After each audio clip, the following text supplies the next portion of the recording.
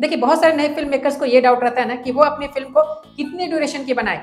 Short film हो या फिर फीचर फ़िल्म हो, ये चीज़ उनका दिमाग खाए हुए रहती है ना कि आखिर ड्यूरेशन वो कितना रखे। शॉर्ट फ़िल्म के लिए भी उन्हें पता नहीं रहता है कि आखिर शॉर्ट फ़िल्म जो है ना, वो कितने से कितने ड्यूरेशन की रहती है। और फीचर फ़िल्म के लिए भी उनको डाउट रहता है कि आखिर बनाए तो बनाए कितने ड्यूरेशन की।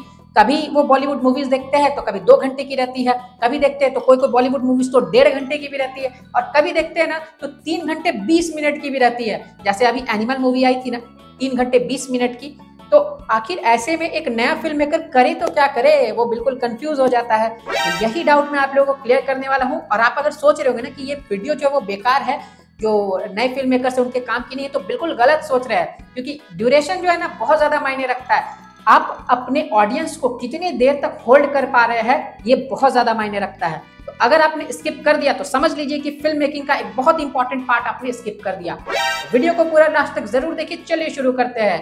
हाय एवरीवन मैं हूँ आकाश रजक और आप देख रहे हैं आकाश रजक ओरिजिनल्स तो देखिए गाइस अगर आप हमारे चैनल पर नए हैं तो सब्सक्राइब फटाफट कर लीजिए। सब्सक्राइब करेंगे तो अभी तो आपको फ़िल्म मेकिंग और स्क्रिप्ट राइटिंग की वीडियोस रेगुलर देखने को मिलेगी।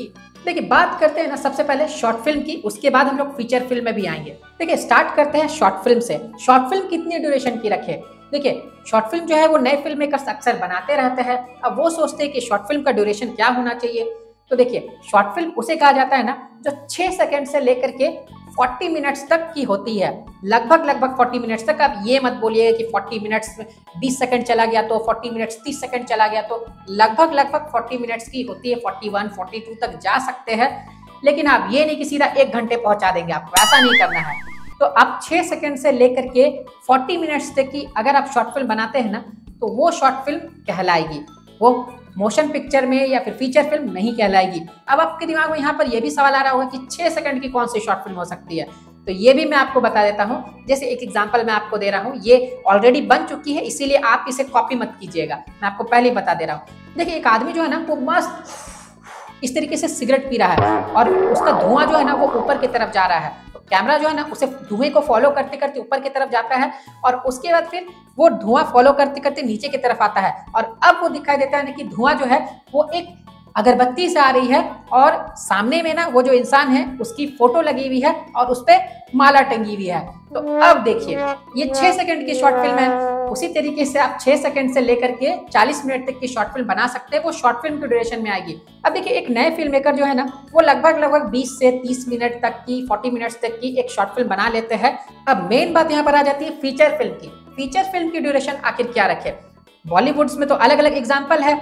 कोई डेढ़ घंटे की रहती है, कोई दो घंटे की रहती है, कोई तीन घंटे की रहती है, कोई तीन घंटे बीस मिनट की रहती है तो अब क्या किया जाए? देखिए एवरेज जो बॉलीवुड मूवीज़ रहती है, वो कितने ड्यूरेशन की रहती है? दो घंटे की रहती है, लेकिन गदर टू जो है, वो तीन घंटे की थी। अभी जो एनिमल मूवी आई है, इसने तो पूरा रिकॉर्ड ही तोड़ दिया। तीन घंटे बीस मिनट की मूवी है ये। सच में, सबसे पहले तो आप यही सोचेंगे कि तीन घंटे बीस मिनट की मूवी आज के समय में, लेकिन देखिए मूवी ऐसी बनी कि हिट हो गई। देखिए, इस फ़िल्म के तीन घंटे बीस मिनट होने की वजह मैं आप लोगों को बता देता हूँ।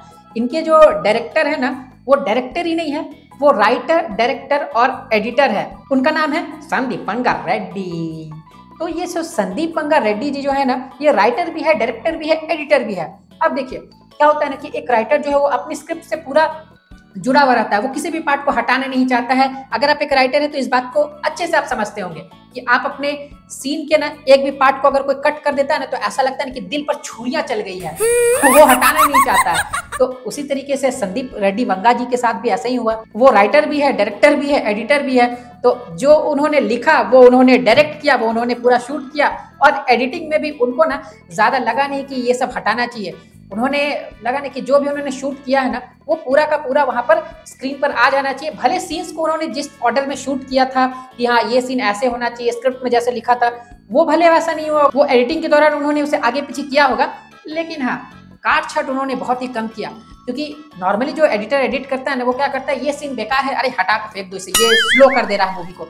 लेकिन इन्होंने क्या किया ना जो सीन मूवी को स्लो कर रहा था ना, उसे बाद में डाल दिया, लेकिन डाला, क्योंकि अगर वो हटा देते तो उनके भी दिल पे तो छुरिया चल जाती ना, वो भी तो एक राइटर हुए ना।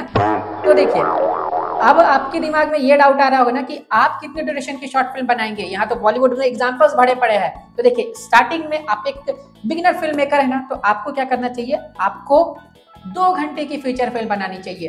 दो घंटे से भले पाँच दस मिनट कम बना लीजिए, ज़्यादा मत बनाइए। क्योंकि देखिए, अगर आप तीन घंटे की बनाएँगे ना तो आपका प्रोडक्शन का कॉस्ट भी तो बढ़ेगा। आप देखिए, आप दो घंटे की फ़िल्म को बनाएँगे और तीन घंटे की फ़िल्म को बनाएँगे। खर्च किसमें ज़्यादा लगेगा? आप ही सोचिए। कमेंट कीजिए किसमें ज़्यादा खर्च लगेगा? तीन घंटे वाले में ही लगेगा। तो आप दो घंटे की फ़िल्म बनाइए और ऐसी स्क्रिप्ट लीजिए जो दो घंटे की हो। तो दो घंटे की फ़िल्म बनाकर आप उतने में आप निपट जाइए। क्यों बेकार में तीन घंटे की फ़िल्म बनाने की टेंशन ले रहे हैं? देखिए, संदीप रेड्डी वंगा जी जो है, वो धुरंधर डायरेक्टर है। वो ऐसा डायरेक्ट किए है ना मूवी को कि कोई भी पार्ट को उन्होंने स्लो नहीं होने दिया। तो स्टार्टिंग में आप ऐसा तो नहीं कर पाएँगे। स्टार्टिंग में आपको भी एक्सपीरियंस चाहिए होगा। तो आप तीन घंटे की फ़िल्म बना लेंगे तो उसके बाद आप तीन घंटे तक ऑडियंस को होल्ड कर पाएँगे कि नहीं कर पाएँगे? यही बहुत बड़ा चैलेंज हो जाएगा आपके लिए।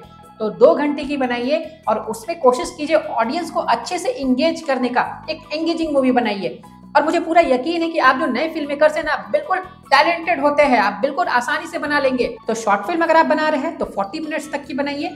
और अगर आप फीचर फ़िल्म बना रहे हैं तो लगभग लगभग दो घंटे की बनाइए। तीन घंटे तीन घंटे से पार करने की तो भूल के भी, सपने भी मत सोचिए कि तीन घंटे से पार आपने कर दिया। तीन घंटे की भी आपको नहीं बनानी है।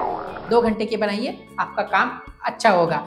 उम्मीद करता हूँ कि आपको वीडियो पसंद आएगी तो वीडियो को कर दीजिए लाइक और चैनल पर नए हैं तो सब्सक्राइब करके रखिए। फिर मिलेंगे एक नए वीडियो में। Love you and bye